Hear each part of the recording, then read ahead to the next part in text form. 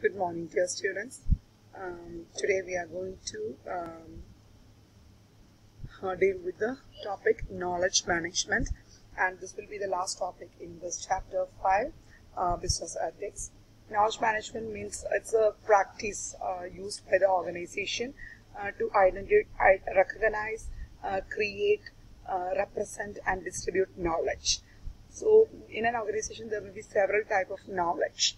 Uh, knowledge of managers, knowledge of middlemen, uh, knowledge of um, intermediaries, knowledge of employees, workers. So, mm, it is the duty of the organization uh, to uh, manage all type of these uh, knowledge. And knowledge management is uh, just applying the collective knowledge for the entire of the entire workforce to achieve the specific goal of the organization. In order to achieve the objectives of the organization, we have to utilize the knowledge of the employees. ഇങ്ങനെ ഒരു കമ്പനിയുടെ successful ആക്കി മാറ്റുന്നതിന് വേണ്ടിയിട്ട് കമ്പനിയിലെ എല്ലാ എംപ്ലോയീസിനെയും നോളജിനെ എങ്ങനെ വാറ്റി ഊക്കിയെടുത്ത് ഉപയോഗിക്കാം എന്നുള്ളതാണ് നോളജ് മാനേജ്മെന്റിൽ നമ്മൾ ചെയ്യുന്നത്.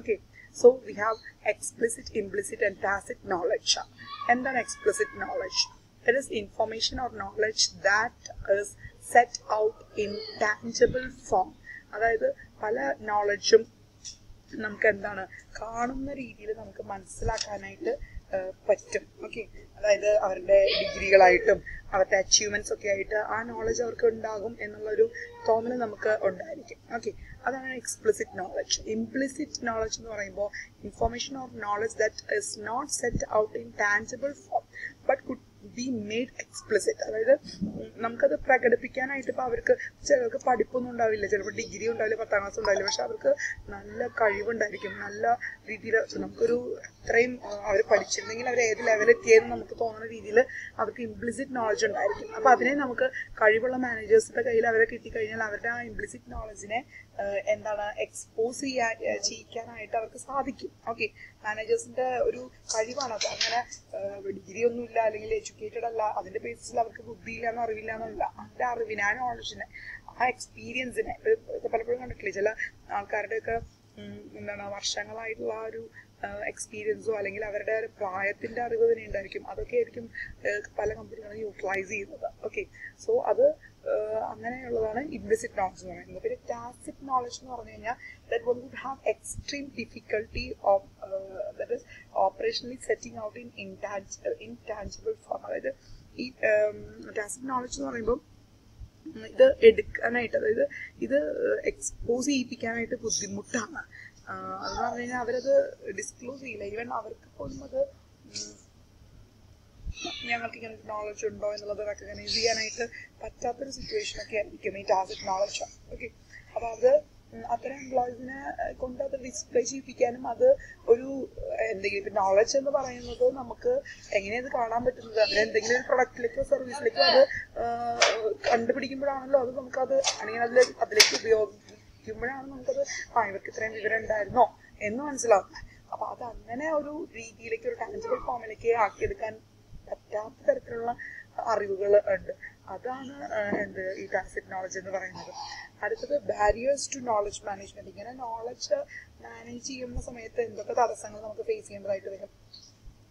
Knowledge is power too often people see knowledge holding as a way to personal power okay അപ്പോൾ എന്താണ് നോളജ് ഷെയർ ചെയ്യാനായിട്ട് പലപ്പോഴും ആളുകൾ തയ്യാറാവില്ല. എനിക്കറിയുന്ന കാര്യം അതിന്റെ ബേസിലാണ് ഞാനിവിടെ പൈസ ഉണ്ടാക്കുന്നത്.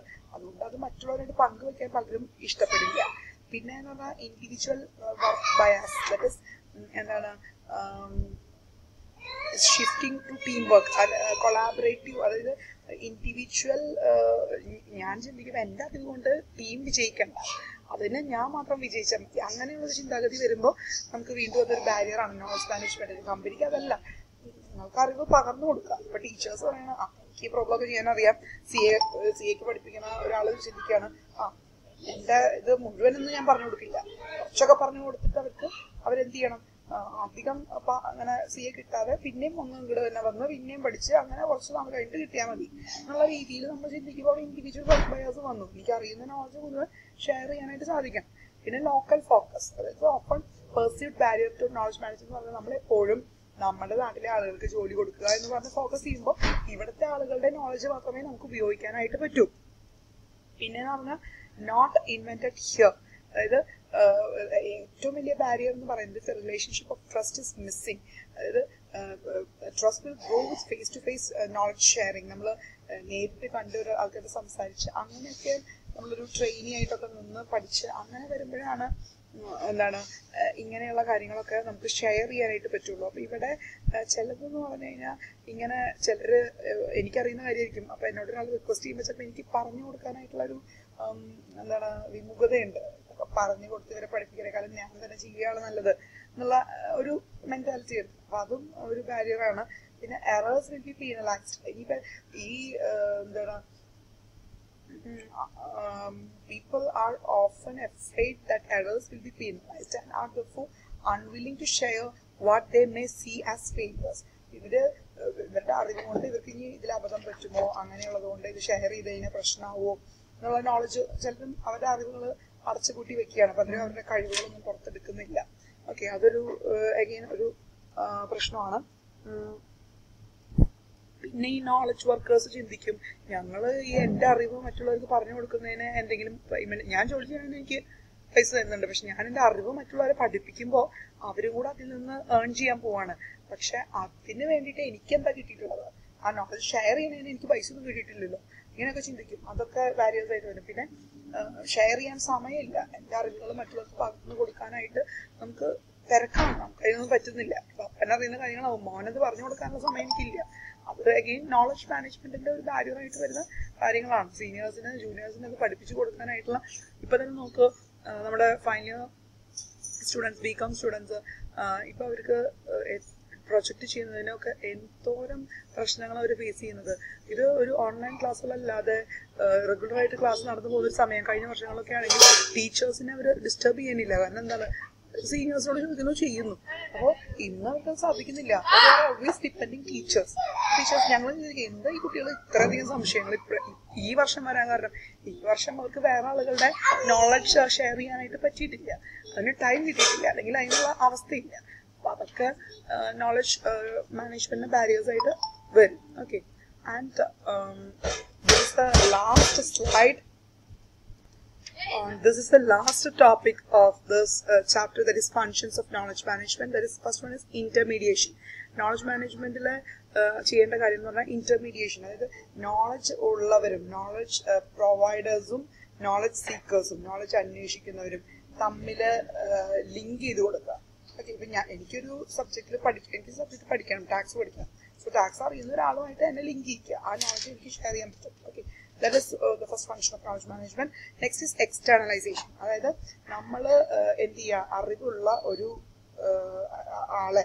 അയാളുടെ അറിവിനെ നമ്മൾ എക്സ്ട്രാക്ട് ചെയ്തിട്ട് ഒരു എക്സ്റ്റേണൽ റെപ്പോസിറ്ററിയിലേക്ക് ഫീഡ് ചെയ്യുക. അതായത് ഇപ്പം ഒരാളെ അയാൾക്ക് ഒരു പെർട്ടിക്കുലർ വിഷയത്തിനെ കുറിച്ച് വലിയൊരു അറിവുണ്ടെങ്കിൽ അയാളുടെ ആ നോളജിനെ ബുക്കിലേക്കോ അല്ലെങ്കിൽ ഒരു ഓൺലൈൻ ജേർണലിലേക്കോ ഒക്കെ അത് കൺവേർട്ട് ചെയ്തെടുക്കാം ഓക്കെ ഇന്റേണലൈസേഷൻ എന്ന് പറയുന്നത് ഒരു എക്സ്റ്റേണൽ സോഴ്സിലുള്ള ഒരു നോളജിനെ മറ്റ് ബുക്കുകളിലോ അല്ലെങ്കിൽ മറ്റ് യൂണിവേഴ്സിറ്റികൾ പഠിപ്പിക്കുന്ന ഒരു കഴിവുകളോ കഴിവുകളോ അല്ലെങ്കിൽ എന്തെങ്കിലും അങ്ങനെ ഒരു സംഭവത്തിന് നമ്മൾ നമ്മുടെ എംപ്ലോയീസിന് നമ്മുടെ ഓർഗനൈസേഷനിലെ ആളുകൾക്ക് അത് ഇങ്ങോട്ട് എടുക്കുക ഇന്റേണലൈസേഷൻ നടത്തുക. ഓക്കെ അപ്പോൾ അത് ഓൾറെഡി പബ്ലിഷ്ഡ് ആയിട്ടുള്ള നോളജ് ആയിരിക്കും. അതിനെ നമ്മൾ നമ്മുടെ ആളുകൾക്ക് അറിയാത്ത ആളുകൾക്ക് അത് പഠിപ്പിച്ച് അവരെ അതിനെ എക്യൂബ്ഡ് ആക്കുക.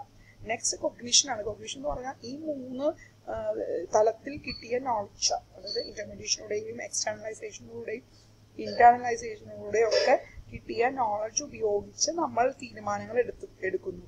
കമ്പനിയിലെ ഡിസിഷൻസ് അല്ലെങ്കിൽ സ്ട്രാറ്റജീസ് ഫ്രെയിം ചെയ്യുന്നു. Okay that is cognition and final function is measurement അതായത് we must have the power to measure the knowledge എത്രത്തോളം നോളജ് ഇപ്പൊ ഞാനൊരു ട്രെയിനിങ്ങിനൊക്കെ ഒരാളെ കൊണ്ടുവന്ന് ഇത്രയധികം ലക്ഷങ്ങളൊക്കെ ചെലവഴിച്ച് ഒരാളുടെ ട്രെയിനിങ് ഒക്കെ എടുക്കാനായിട്ട് കമ്പനിയിലേക്ക് അയാൾ അപ്പോയിന്റ് ചെയ്യുകയൊക്കെ ചെയ്തു.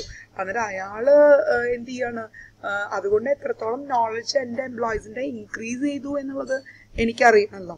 അപ്പൊ അത് മെഷർ ചെയ്യുക മാപ്പ് ചെയ്യുക അതുപോലെ എത്രത്തോളം അതിന്റെ ഗുണം ഉണ്ടായി ഇനി ഗുണം കൂട്ടണമെങ്കിൽ എന്തൊക്കെ ചെയ്യാം ഇങ്ങനെയുള്ള കാര്യങ്ങളൊക്കെ നോളജ് മാനേജ്മെന്റിന്റെ ഫംഗ്ഷനാണ് അപ്പൊ ഇപ്പോഴത്തെ മെഷറിൽ എന്തെങ്കിലും ഐ മീൻ ഇപ്പോഴത്തെ സ്റ്റെപ്പിൽ എന്തെങ്കിലും തെറ്റുണ്ടെങ്കിൽ അടുത്ത തവണ അത് മാറ്റി ചിന്തിക്കണം. ഈ ട്രെയിനർ വേണ്ട. വേറൊരാളെ കൊണ്ടുവരണം.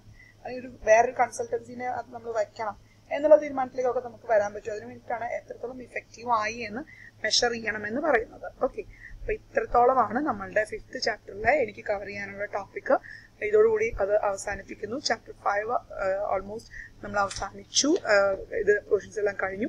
ഇനി നമ്മൾ ചാപ്റ്റർ ത്രീയിലേക്കാണ് പോകുന്നത്. അത് നെക്സ്റ്റ് ഡേ ട്യൂസ്ഡേ ഞാൻ എന്ത് ചെയ്യും? ഈ ചാപ്റ്റർ ത്രീയുടെ എല്ലാ വീഡിയോസും അപ്ലോഡ് ചെയ്യുന്നതാണ്.